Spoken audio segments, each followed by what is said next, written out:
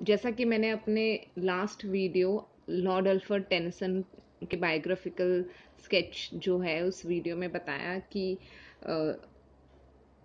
Tennyson और उनके friend हालम दोनों यूरोप टूर पे गए थे तो वो स्पेन जब गए तो स्पेन में उन्हें प्योरी माउंटेन्स बहुत अच्छे लगे और इन प्योरी माउंटेन से इंस्पायर्ड होके उन्होंने कुछ पोएम्स लिखी, जिसमें से एक है आइनियन जिसकी हम बात करेंगे अभी आइनियन एक ड्रामेटिक मोनोलॉग है और ये ग्रीक मिथोलॉजी पे बेस्ड है।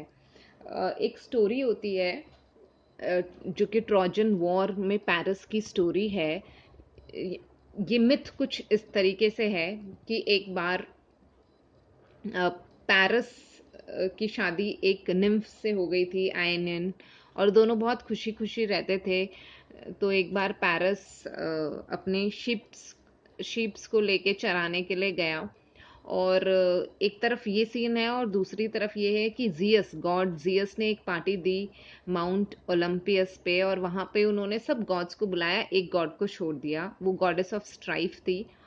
तो उसे गुस्सा आया और उसने एक एप्पल फेंका उस पार्टी के अंदर, जिस पे लिखा हुआ था फॉर द फेयरेस्ट मतलब सबसे ब्यूटीफुल के लिए। और तीन गॉडेसेस में लड़ाई होने लगी। जिसमें से एक एफ्रोडाइट थी। और एफ्रोडाइट और उसके बाद फिर जियस ने बोला कि, तुम तीनों में से कौन सबसे ब्यूटीफुल है? ये डिसाइड करने वाला पैरिस है। तो जाओ ह्यूमन बीइंग के पास पैरिस के पास तीनों जाती हैं।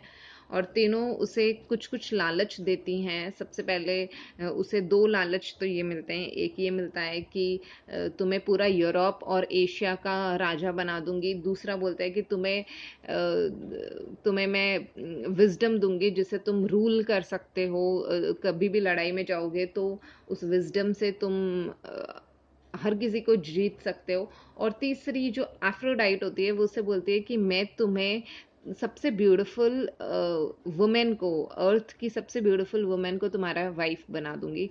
Aphrodite is a goddess of love और पैरस उसी की बात को चुनता है और पैरस उसको वो एप्पल दे देता है। और आइनियन इससे दुखी हो जाती है, उसके बाद पैरस की पैरस को एफ्रोडाइट जो है हेलन दे देती है पैरस को और इससे पूरा वॉर छिड़ जाता है। इस पोएम में हमारे पास दो ऐसे ग्रीक मिथोलॉजी से लिए हुए दो कैरेक्टर हैं। तीन नहीं है, यहाँ पे दो हैं। एक पैलेस है P A double L A S palace और दूसरा एफ्रोडाइट तो आयनियन बहुत दुखी है कि जब उसे दोनों आके बोलती हैं, एक बोलती हैं कि मैं तुम्हें सेल्फ रिलायंट बना दूँगी, तुम्हें, तुम सब कुछ तुम्हारे अंदर होगा कि तुम कुछ भी अच्छा कर सकते हो। तो आइनियन नीचे से बोलती है कि प्लीज़ एक्सेप्ट दिस और वो एक्सेप्ट नहीं करता है। पैरस उसको एक्सेप्ट नहीं करता और जब एफ्रोडाइट बोलती है कि मैं तुम्हें फेयरेस्ट वाइफ दूँगी इस दुनिया की तो पैरस उसे एक्सेप्ट कर लेता है और इस पर आइनियन बहुत दुखी होती है और सोचती है, क्या मैं मैं सुंदर नहीं हूँ? क्या मैं फेयरेस्ट वाइफ नहीं हूँ? और जो आयनियन की हालत है, वो बहुत ख़राब हो जाती है। उसकी हालत कुछ कुछ मरियाना जैसी हो जाती है। वो आइसोलेटेड फील करती है मरियाना जैसे और हेल्पलेस फील करती है।